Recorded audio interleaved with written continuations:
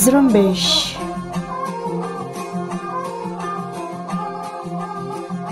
Radio जुरम्बिश Urdu की आवाज़ है। आज फरवरी की 11 तारीख जमेरात का दिन और साल 2021 है और मैं हूँ आपकी मेज़बान सारिन बलोच। रेडियो जुरम्बिश के आज की न्यूज़ बुलेटिन में बलूचिस्तान समेत इलाकई और आलमी ख़बरें शामिल हैं। सबसे पहले पेश खदमत है बलूचिस्तान से मुतल ख़बरें।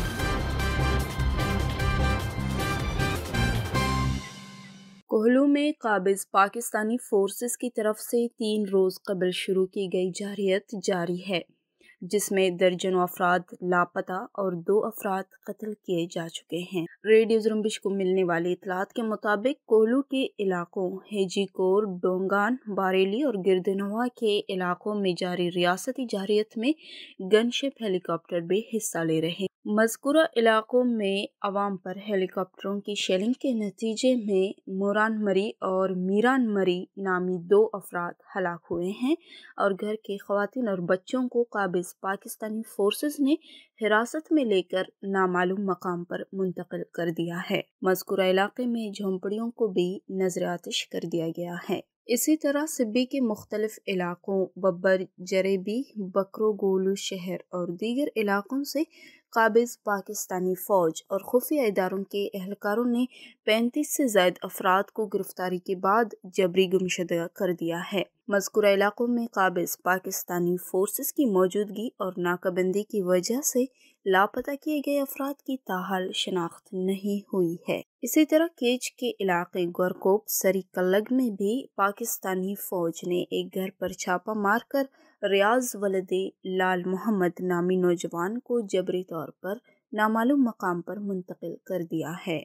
बलूच नेशनल मूवमेंट के मरकज़ी तर्जुमान ने बलूचिस्तान के तुलर्ज में जारी पाकिस्तानी फ़ौज की जारियत की नई लहर पर तशवीश का इजहार करते हुए कहा है, बलूचिस्तान में रोज़ाना की बुनियाद पर पाकिस्तानी फ़ौज की जारहाना कार्रवाइयाँ रूनमा हो रही हैं। ताज़ा लहर में मावंद और हरनाई के पहाड़ी इलाकों में फिजाई ताकत का भरपूर इस्तेमाल किया जा रहा है, जबकि आवरान में फौज की जारियत कई दिनों से जारी है। बी एन एम तर्जुमान ने मजीद कहा है कि मावंद में ऑपरेशन का रुख आम आबादियों की तरफ़ मोड़ दिया गया है, जिसमें खातन और बच्चों को भी जबरी गुमशदगी का शिकार बनाया जा रहा है, जबकि माल मवेशी को लूटा और घरों को नज़र आतिश किया जा रहा है। मंगल की शाम केज के इलाके मंद सिंगिस्तान में कायम काबिज पाकिस्तानी फौज की एक चेक पोस्ट पर मुसल्ह अफराद ने खुदकार और बड़े हथियारों से हमला किया, जहाँ 20 मिनट तक झड़प जारी रही, जिसमें पाकिस्तानी फोर्सेस को जानी और माली नुकसान की इतला है।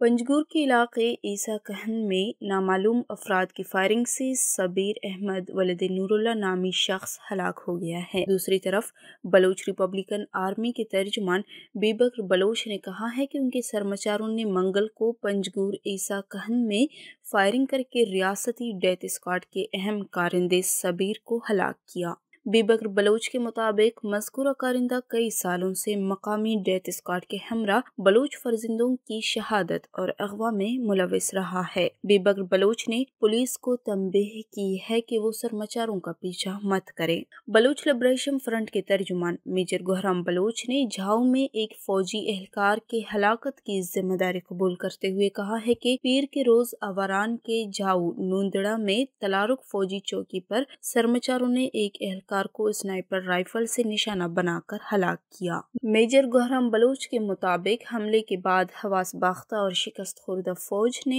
जलोंटी गाँव के अवाम को तशद का निशाना बनाया और घरों में लूटमार की। यूनाइटेड बलोच आर्मी के तर्जुमान मजार बलोच ने कहा है कि कलात में मुंगचर के इलाके किली खुरासानी में यूबीए के सरमचारों ने पाकिस्तानी खुफिया इदारों के अलाकारों को एक छापा मार कार्रवाई के दौरान फायरिंग करके हलाक हलाक किया। हमले में तीन एजेंट मौके पर हलाक हुए, जबकि एक भागने की कोशिश में जख्मी हुआ, जिसकी ज़िम्मेदारी हमारी तंजीम यूनाइटेड बलोच आर्मी कबूल करती है। मजार बलोच ने मजीद कहा है कि यूबीए के सरमचारों ने कोहलू हेजी कोर में काबिज पाकिस्तानी फोर्सेस के एक हमले को नाकाम बनाया, जिसमें रियासती फोर्सेस उनके कैंप को घेरने की कोशिश कर रहे थे। लापता तालब इलम रहनुमा शबीर बलोच की हमशीरा सीमा बलोच ने कहा है कि लापता अफराद के लिए कायम रियासती कमीशन नाकाम हो चुकी है, जो सिर्फ़ दुनिया को गुमराह करने के लिए अपना वजूद बरकरार रखने की कोशिश कर रही है। इस हवाले से सीमा बलोच ने ट्विटर पर लिखा कि आज मैं लापता अफराद के लिए बनाए गए कमीशन के सामने पेश हुई। उन्होंने कहा कि उन्हें अभी तक मालूम नहीं कि शबीर बलोच कहाँ हैं। शबीर को अक्टूबर साल 2016 में पाकिस्तानी फोर्सेस ने अगवा किया था। काबिज पाकिस्तानी फोर्सेस के हाथों जबरी लापता डॉक्टर दीन मोहम्मद की बेटी सम्मी दीन मोहम्मद ने भी नाम नहाद जुडिशल कमीशन पर रद्द अमल देते हुए कहा कि, मैं अपने वालिद डॉक्टर दीन मोहम्मद के मामले में लापता अफराद के हवाले से इंक्वायरी कमीशन के सामने हाजिर हुई। ताहम कमीशन पुराने बयान को दोहराता है कि वो नहीं जानते। समीदीन मोहम्मद बलोच ने कहा कि अगर इन मामलात में कोई पेशरफ नहीं हुई है तो वो हमें पेश होने के लिए क्यों कहते हैं?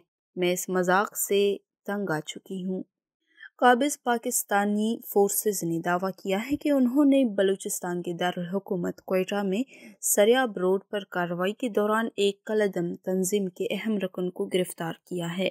रियासती ज़राए के मुताबिक कलदम सुन्नी तंजीम के रुकन जमान को गिरफ़्तार किया गया, जो धमाकों और टारगेट किलिंग की मुतद वारदातों में मुलविस था। हुकाम ने इल्ज़ाम आयद किया है कि मुलजिम चंद रोज़ कबल ही अफ़गानिस्तान से वापस आया था। मस्तुंग से काबिज पाकिस्तानी फ़ौज के हाथों जबरी तौर पर लापता दो अफराद बाजियाब हो गए हैं। बाजियाब होने वालों में पाँच साल से लापता अख्तर शाह वलद अनवर शाह और आठ साल से लापता नूरुल्लाह वलद जान मोहम्मद शामिल हैं। Voice for Baloch missing persons और लवाहिकीन ने दोनों के बाजियाबी की तस्दीक की है। दूसरी तरफ़ 13 जून साल 2020 से जबरी तौर पर लापता होने वाले तालब इम आज़म वलद दाऊद, जो 12 जनवरी साल 2021 को बाजियाब हुआ था को गुज्त हफ़्ते असिस्टेंट कमिश्नर खुजदार ने मजीद तफ्तीश के नाम पर दोबारा खुजदार में बुलाकर सेंटर जेल खुजदार मुंतकिल कर दिया है।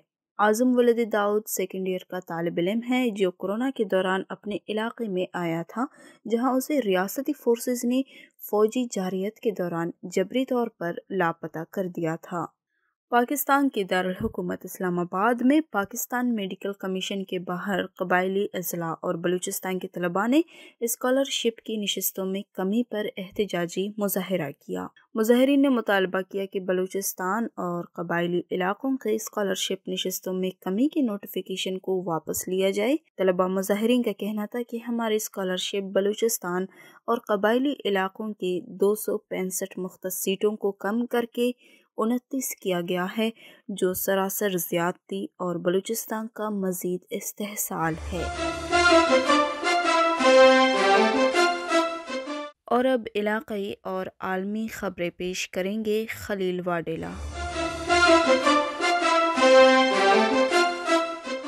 पाकिस्तान के सदर मकाम इस्लामाबाद में सरकारी मुलाजमीन का एहतजाज जारी है, जहाँ पुलिस ने शारा दस्तूर पर अपनी तनख्वाहों में इजाफे के लिए एहतजाज करने वाले पुरमन सरकारी मुलाजमीन के खिलाफ ताकत का इस्तेमाल करते हुए उन्हें मुंतशर करने के लिए आँसू गैस के शेल्स और लाठी चार्ज का इस्तेमाल किया, जिसके रद्द अमल में मुजाहरीन मुश्तल हो गए और सूरत पुलिस की कंट्रोल से निकल गई।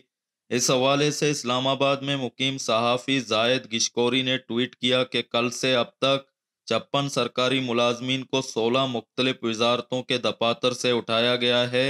वो मुलाजमीन जो हुकूमत के खिलाफ नारे लगाकर एहतजाज कर रहे थे, जायद गिशकोरी के मुताबिक कई मुलाजमीन गिरफ्तारी के बाद लापता हैं। सरकारी अफसरान की एक तंजीम ऑफिसर मैनेजमेंट ग्रुप ने भी सरकारी मुलाजमीन के एहतजाज की हमायत का ऐलान किया है। उन्होंने अपनी प्रेस रिलीज़ में सरकारी मुलाजमीन पर पुलिस तशद की मजम्मत की है। पाकिस्तान डेमोक्रेटिक मूवमेंट के सदर मौलाना फजल रहमान ने कहा है कि इस्टेब्लिशमेंट से माजी में गलतियाँ हुई हैं। उसको मानकर कौम से माफ़ी मांगनी पड़ेगी। पीडीएम के सदर मौलाना फजल रहमान ने हैदराबाद में जलसे से किताब करते हुए कहा कि हम पाकिस्तान में आज़ाद पिज़ा को यकजा करने के लिए निकले हैं। यह तहरीक अपनी मंजिल को पहुंचेगी। उन्होंने कहा कि मुझे ये बातें बली लगती हैं कि हमारे मुल्क की इस्टेब्लिशमेंट कहती है कि हमारा सियासत से ताल्लुक नहीं है। हम कब चाहते हैं कि हमारी फौज सियासत में मुलवस हो? हम कब चाहते हैं कि वो दीपा के अलावा कोई और किरदार अदा करे? लेकिन क्या करें? गलतियाँ हुई हैं और उन गलतियों को मानना पड़ेगा और कौम से माफ़ी मांगना पड़ेगी।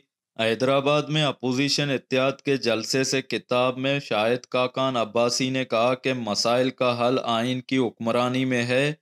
आज सूबों के हकूक छीनने की कोशिश है। उन्होंने कहा कि सूबों के हकूक नहीं छीनने देंगे।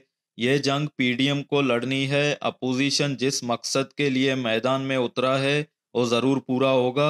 सबक वज़ीर अजम पाकिस्तान ने मजीद कहा कि पी डी एम में शामिल तमाम जमातें पाकिस्तान की नुमाइंदा जमातें हैं। अपोजिशन एहतियात का मौकफ है कि मुल्क को आइन के मुताबिक चलाया जाए।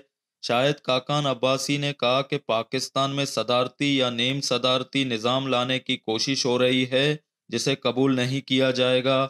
अफ़गानिस्तान के दारकूमत काबुल में दो अमलों में पाँच सरकारी मुलाजमीन हलाक हो गए हैं। अफगान हुक्काम के मुताबिक मंगल के रोज़ काबुल के जुनूब में नामालूम मुसल्ह अफराद ने महकमा सूबाई दही तरक्की की एक गाड़ी पर फायरिंग की है, जिसके नतीजे में उसमें सवार चार मुलाजमीन मारे गए हैं। मरने वालों में सूबाई महकमा के सरबरा भी शामिल हैं। दूसरी तरफ़ काबुल के मशरकी हिस्से में अफगान वजारत कारजा की एक गाड़ी सड़क पर नस बम से टकराने के बाद तबाह हो गई। इस बम धमाके में गाड़ी का ड्राइवर हलाक हो गया। अमरीकी सेनेट ने सबक सदर डोनाल्ड ट्रंप के मुआवजे की कार्रवाई जारी रखने की मंजूरी दे दी है। ट्रंप पर 6 जनवरी को कांग्रेस की बिल्डिंग कैपिटल एल पर हमले के लिए अपने आमियों को उकसाने का इल्ज़ाम है। सबक सदर के खिलाफ सेनेट में ट्रायल शुरू करने की आइनी हैसियत पर मंगल को चार घंटे तक बहस की गई। बाद आजा ट्रंप के मुआवजे की मंजूरी के हक में छप्पन अरकान ने वोट दिया, जबकि चवालीस ने उसकी मुखालपत की। सौ अरकान पर मुश्तमल ऐवान में डेमोक्रेटिक पार्टी और रिपब्लिकन पार्टी के अरकान की तादाद पचास पचास है। ट्रंप के मुआवजे की कार्रवाई जारी रखने के हक में वोट देने वालों में रिपब्लिकन पार्टी के छः अरकान भी शामिल हैं। दूसरी जानब ट्रंप के दो वकला ने मौक़ इख्तियार किया है कि आइन में तहरीर है कि मुआवजे के बतौर आला सिर्फ़ उस वक्त इस्तेमाल किया जा सकता है जब सदर को अहदे से सबकदोश करना मकसूद हो। तहम डोनाल्ड ट्रंप की चार साल मुद्दत मुकम्मल हो चुकी है और वो अब मुल्क के सदर नहीं, जबकि 20 जनवरी को जो बाइडन भी अपने अहदे का हलफ उठा चुके हैं, चीन में मौजूद आलमी इदारा सेहत की टीम का कहना है कि कोरोना वायरस के किसी जानवर से फैलने के शवायद अभी तक नहीं मिले। टीम ने वायरस के चीन की लेबार्ट्री से फैलने के मफरूज़े को भी रद्द कर दिया है। एक प्रेस कॉन्फ्रेंस में तफ्तीशी टीम का कहना था कि कोरोना वायरस के किसी जानवर से फैलने के शवायद अभी तक नहीं मिले। टीम का मजीद कहना था कि वुहान में दिसंबर 2019 से पहले कोरोना का कोई केस आने के शवायद भी नहीं मिले। सऊदी अरब के जनूबी मगरबी शहर अबाह के बैन अवी हवाई अड्डे पर ओसियों के हमले से एक तैयारे में आग लग गई है। अरब इत्याद ने बुध को ओसियों के दहशत गर्दी के इस हमले की तस्दीक की है और कहा है कि तैयारे को लगने वाली आग पर काबू पा लिया गया है। अरब इत्याद ने मजीद कहा कि अबा के बैन अवी हवाई अड्डे को निशाना बनाने की कोशिश और शहरी मुसाफरों के जान व माल को खतरे में डालना एक जंगी जुर्म है।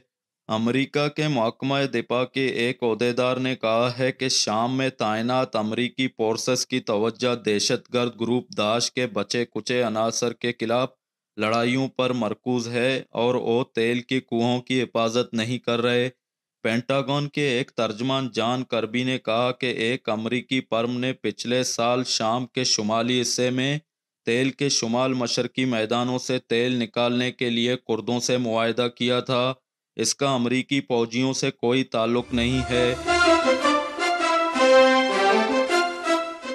इसी के साथ ही आज के न्यूज़ बुलेटिन का अख्ताम होता है।